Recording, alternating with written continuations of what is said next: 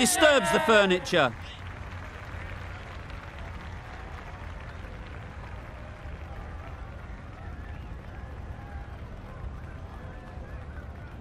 Really getting into the tail enders now. Sixth wicket gone.